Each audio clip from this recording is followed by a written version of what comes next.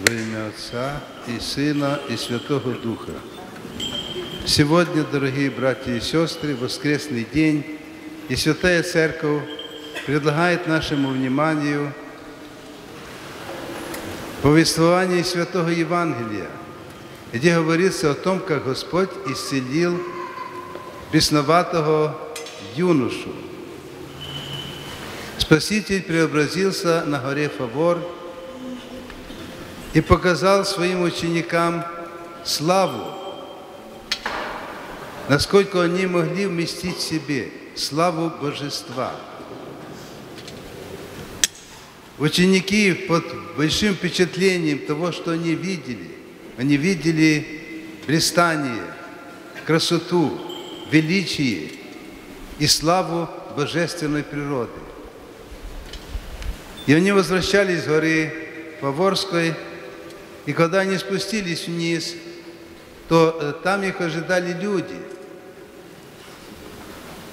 И э, когда Спаситель подошел к людям, один человек вышел из толпы, поклонился Спасителю в ноги и просил его, Господи, исцели моего сына, помилуй меня, потому что сын мой в новолуние беснуется и жестоко страдает, ибо часто бросает его в огонь и часто в воду. Я приводил твой, своего сына к твоим ученикам, но они не могли исцелить его. Спаситель говорит этому человеку, о род, роде раз, раз, неверный и развращенный, доколе буду с вами и доколе буду вас терпеть. Приведите его сюда, ко мне.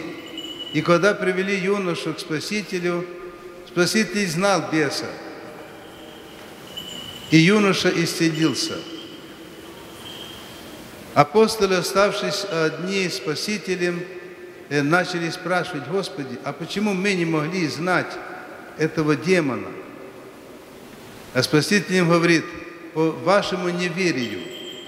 Если бы вы имели веру зерно горчичное, то есть маленькое, так чуть больше маковинки, если бы вы имели такую веру, то вы бы сказали этой горе, перейди отсюда туда, она перейдет и, и обратно перейдет. И ничего не будет для, для вас невозможного. А этот род, заключил Спаситель, изгоняется только молитвою и постом.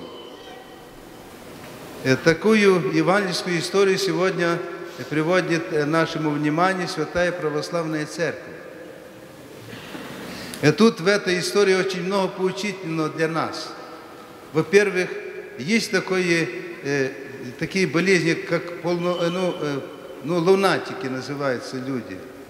Когда э, полная фаза Луны, то человека начинает там что-то беспокоить, тревожить.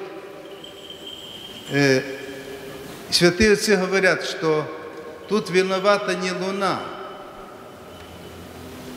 а демоны, которые всегда действуют под прикрытием чего-то доброго.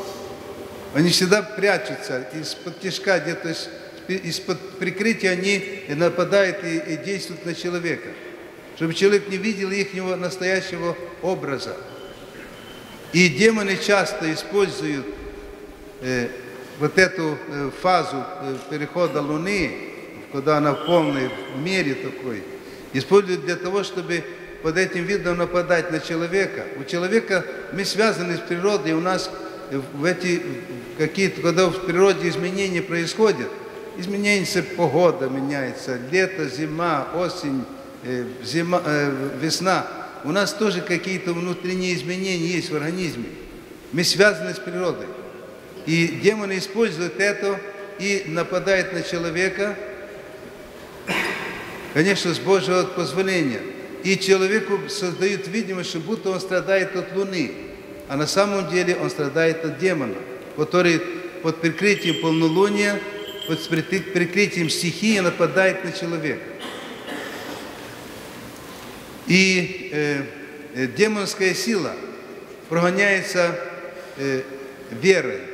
Господь сказал апостолам, что э, по неверию вашему вы не могли изгнать этого демона.